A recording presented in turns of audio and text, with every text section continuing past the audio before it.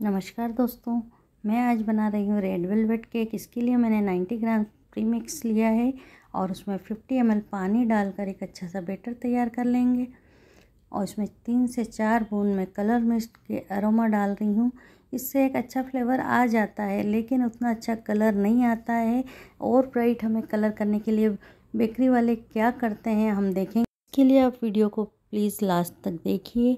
अब हम इसमें एक टेबल स्पून तेल डालकर अच्छे से मिक्स कर लेते हैं और मैंने पहले से कढ़ाई को गर्म करने रख दिया है।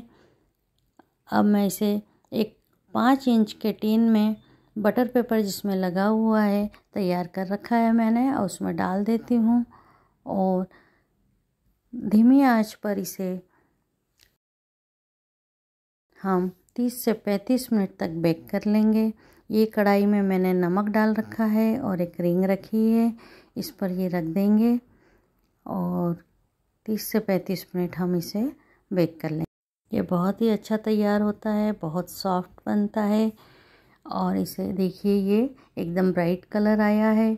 ये कलर कैसे आया, इतना सुंदर कलर हम देखते हैं आगे।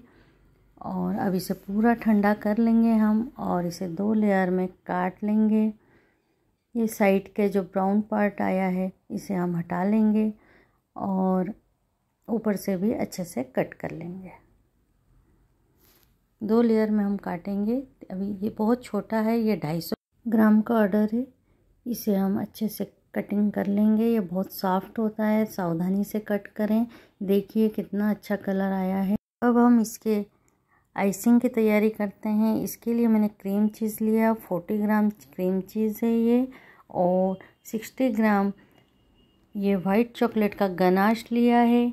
ये मैंने वन बाय वन रेशो से तैयार किया है, वाइट चॉकलेट गनाश। इसमें हम डाल देते हैं और सौ ग्राम मैंने विप क्रीम फेंट के रखी है और अच्छे से थोड़ी सी हार्ड फेंट के रखी है। अब हम इसमें हल्के हाथों से मिला देंगे। बहुत ही हल्के हाथों से मिलाना है, वरना ये थोड़ी पतली हो जाती है।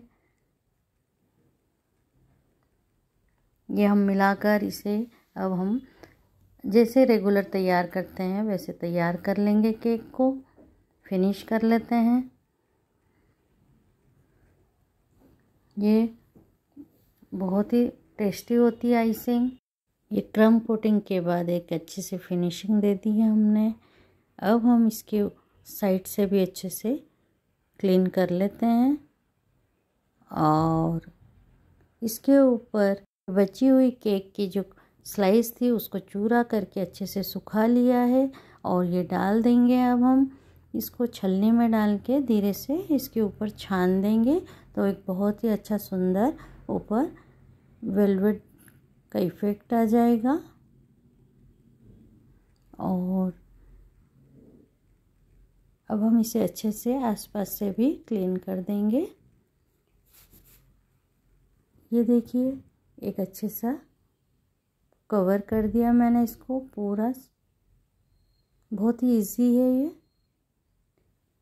और क्लीन करने के बाद हम नोज़ल में, एक स्टार नोज़ल में वाइट क्रीम लगा, डालकर एक अच्छे से फ्लावर बनाया और डबल हार्ट बनाया मैंने। ये भी रख दिया और एक बड़ा सा टॉपर लगा दिया है। देखिए कितना सुंदर हो गया है। अब हम इसे जानते हैं कितना सुंदर कलर ये कैसे आया है। तो मैंने इसमें half teaspoon red tomato colour डाला है। इस वजह से ये एकदम ब्राइट कलर आता है। बेकरी का सीक्रेट है ये। ये ज़रूर आप ट्राई कीजिए एक बार। बहुत सुंदर कलर आएगा और आपका केक भी कड़वाट